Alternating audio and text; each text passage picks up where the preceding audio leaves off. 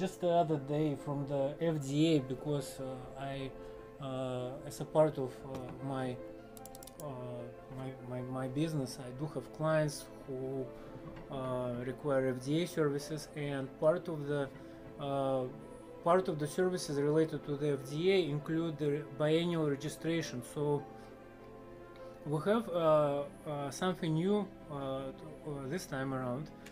This to- and this something new is the private-public partnership uh, with the Dun Bradstreet company, uh, and uh, that company issues numbers.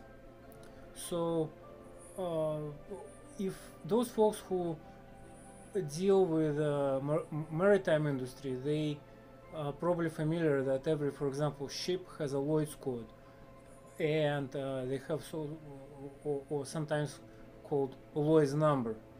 And uh, back in the day when I was filing uh, AMS stuff, I uh, used to have that uh, portion of the screen. I remember where I would have to enter the Lloyd's code. So uh, the Dun Bradstreet is kind of like that, except it, it is for the companies. So uh, it runs particular information queries, databases. So it's pretty much what we have the, as far as credit reporting agencies for the companies, uh, for the individuals. I'm sorry.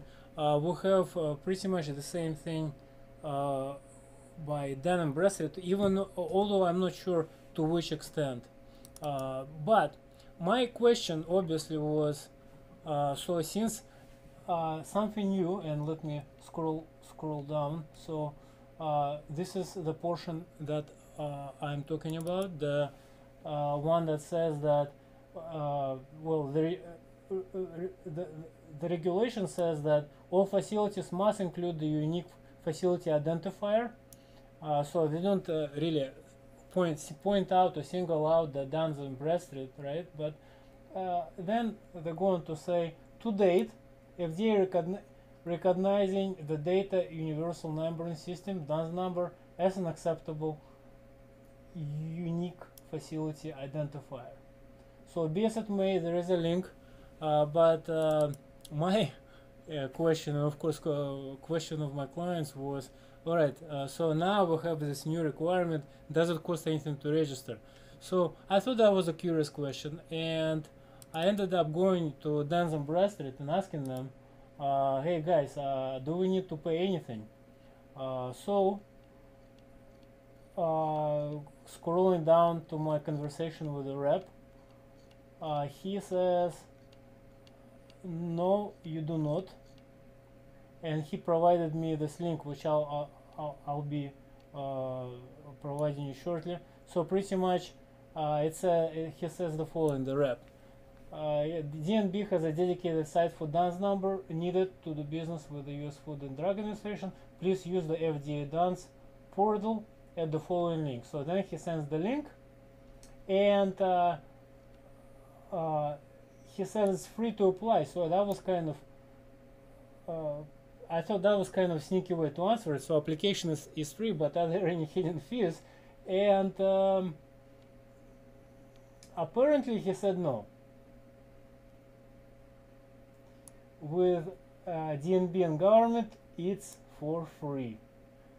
At least uh, that's that's the case.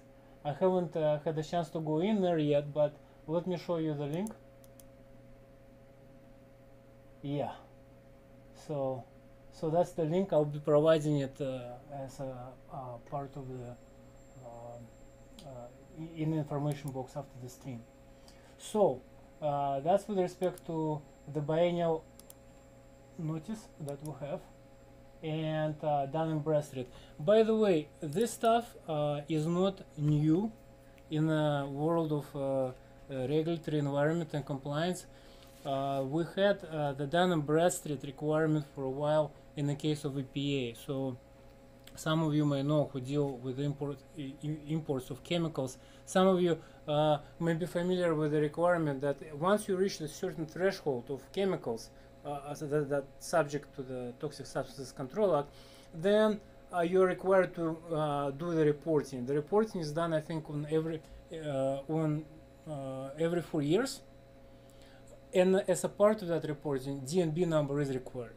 So uh, keep that in mind. Uh, this is not something uh, out uh, out of blue new. This is uh, something that has been around, but in a different context of the international trade.